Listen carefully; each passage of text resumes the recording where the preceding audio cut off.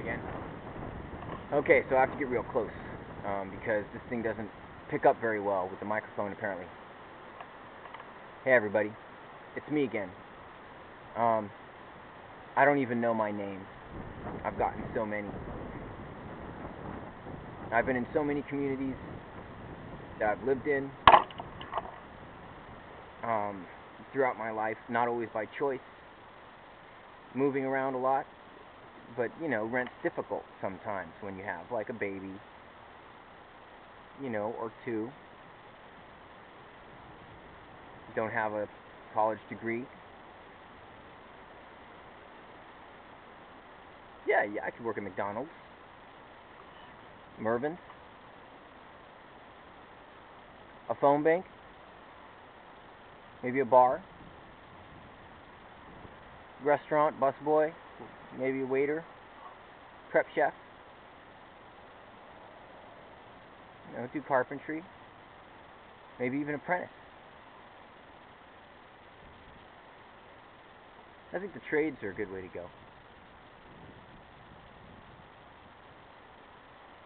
I think the trades should be taught again everywhere. So we have skills again. Building houses is cool, you know, from plans and stuff. What we're lacking nowadays in this race to get more shit, bigger, better,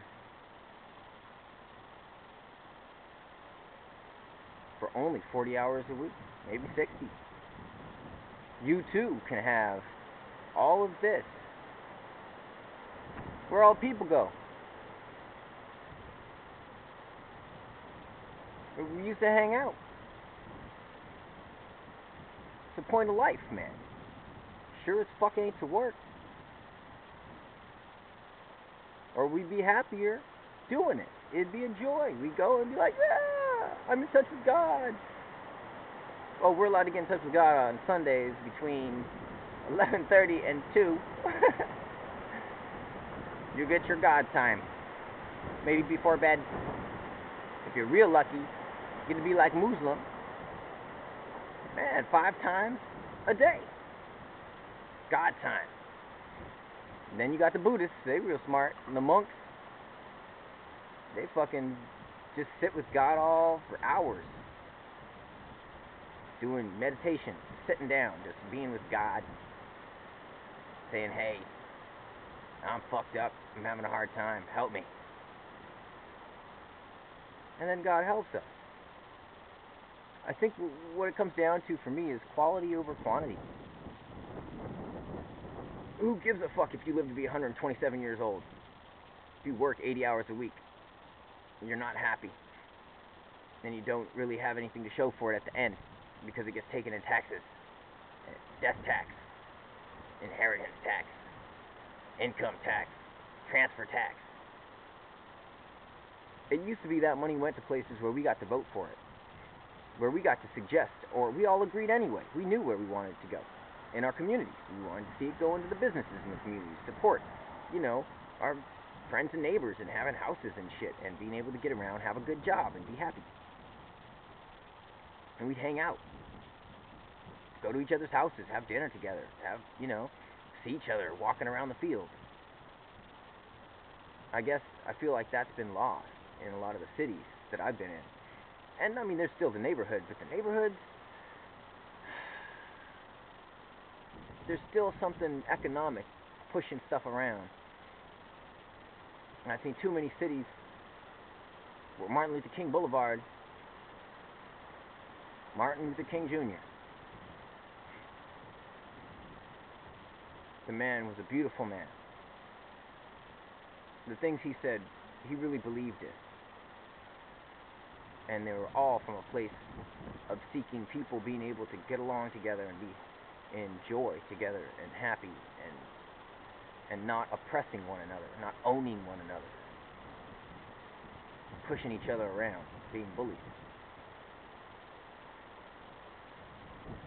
And yeah, man.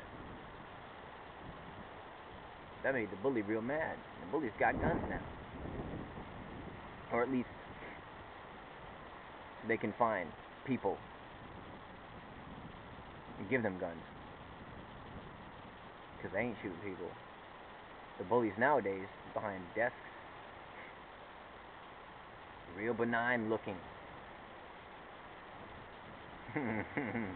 hey guys.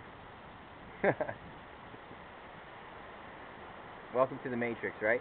These are the cats that can watch me right now through this camera. Really, really, really. Of course. Chemtrails, whatever. You know shit's going on. That shit makes it so that all the air is psychic. They can hit all our brains, tap us, see everything we're thinking, watch us on a screen, and talk to us. Yeah. Individually. Pick people out and shit. Ooh. And then what? You think they want to sit around and be unhappy? I mean, they got all their shit, sure, man. But they all want to be happy, too. They're trapped under the stuff. We gotta save them. Imagine having all that weight on your shoulders.